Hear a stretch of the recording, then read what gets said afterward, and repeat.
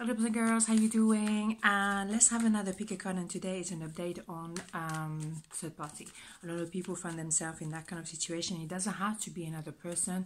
It can be someone who's working a lot, workaholic, or, or you know, um, into exercise, or a lot contact with their family and not really being present in the relationship. So let's have a look and let's have two piles the usual story as you know now by heart nice and simple. That's the way we like it. Okay, so one, two, one, two. Clearing the voice.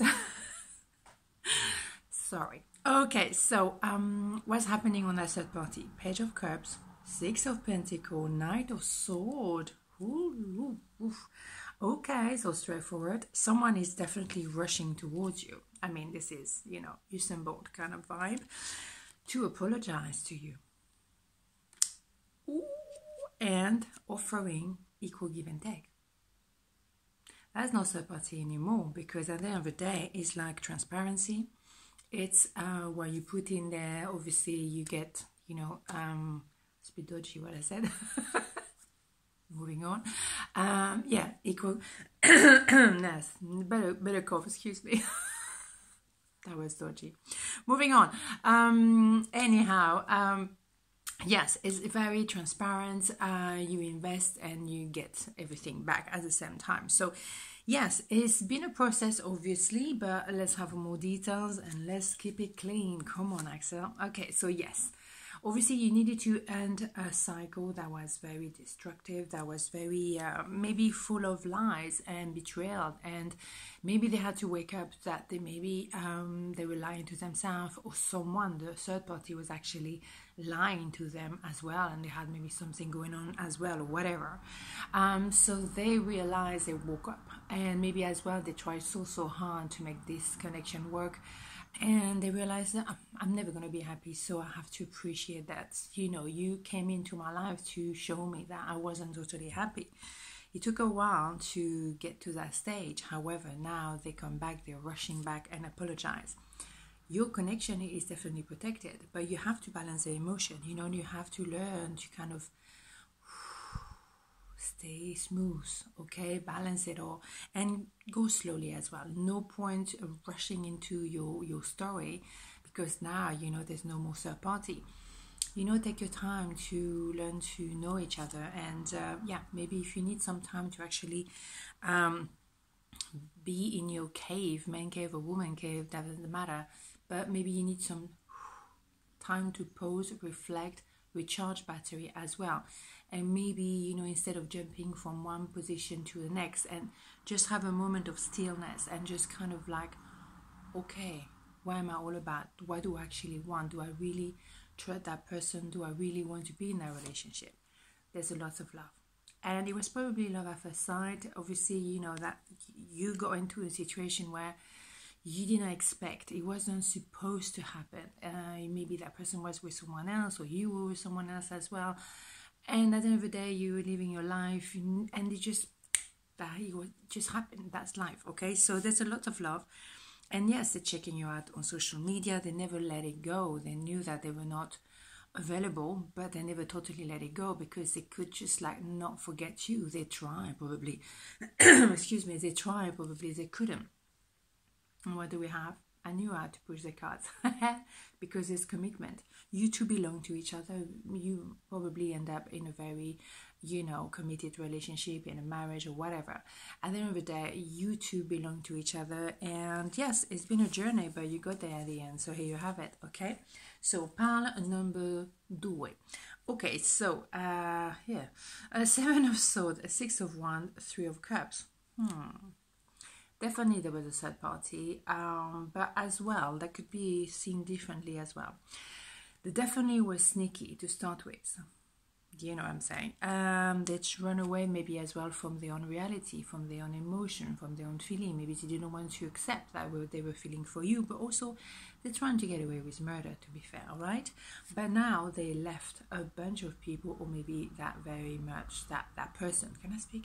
That person, and now they feel victorious they, because they made that step forward. And so, yes, they maybe ask you to date. It's very true or they, they keep the option a bit open. Let's have a look and see what's going on really, because that can be seen different way.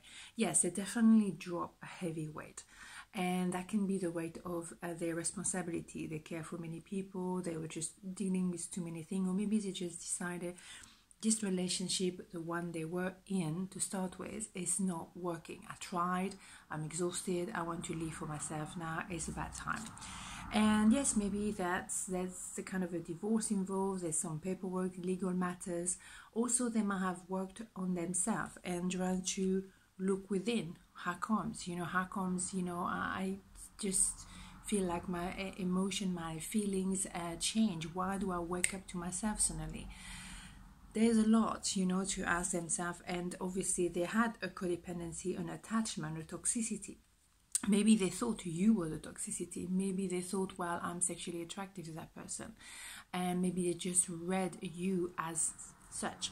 However maybe they thought mm, hold on a minute it's not that straightforward. Maybe my codependency is um, with the person i'm married to. So yes they had to choose obviously between the you know the tradition the you know companionship they had within their marriage and you and that is a bit of a gamble for them but they found themselves in that situation. So they perceive you as someone very grounded very um, loving very um, nurturing at the same time very strong. You're very independent. You don't need to be with someone. If you have to be with someone it's because that person add to your happiness. If not well bye you know what i'm saying? So there's been a bit of a mission to get there. And yes I mean, it's been difficult, it's been very challenging for both of you, probably. But there was a reconciliation here. Yes, because at the end of the day, they maybe thought, okay, this is the wrong thing. I shouldn't, you know, think of someone else. I should be with uh, my spouse. And of course, straightforward. But then suddenly they realized maybe I'm not with the right person altogether. Maybe I have to rethink all of this. And it was some kind of process to get there. But eventually they got there. So hmm, there you have it. Yeah, it took them, you know, it's so much. um, they hold on to the idea of what a marriage should look like, what a committed relationship should be. And then they suddenly realize when I'm in the wrong marriage altogether and they suddenly change the perspective. But they hold on to uh, their principle which is very noble. Of course of course you don't want to just like you know drop everything you know but they had to realize hold on a minute i'm, I'm making a big mistake here and they're rushing towards you because they realize they made you know yeah you are someone who can bring the stability the the grounding energy in their life and they need that. They need the stability yeah, he was a third party, no doubt about this, but they got very, very heartbroken in the process. Um, but of course, you know, it's difficult to to l- appreciate that maybe your marriage fell, and I know the feeling because you feel like he failed, but it didn't you learn and you go through a process. And you those lessons you learn about yourself and what you deserve and what you don't deserve that they are priceless. So this is no failure. You learn but i appreciate that you can feel like a failure. So they're going to make an, an offer towards you. They're not sure you're going to accept it or not. That is very frustrating for them of course.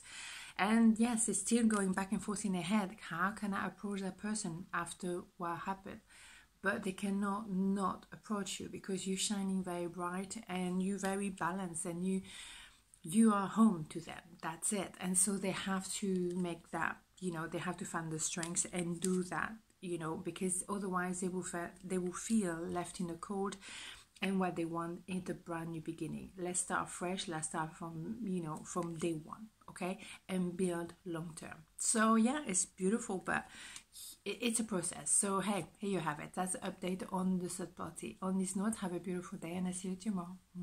Ciao.